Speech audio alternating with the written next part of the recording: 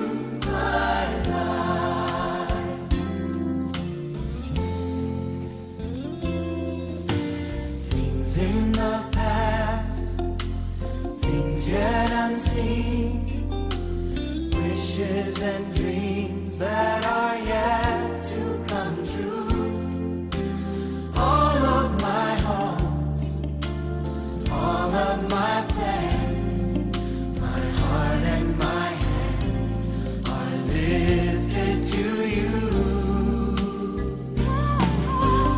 Lord, I offer my life to you. Everything I've been through, use it for your glory.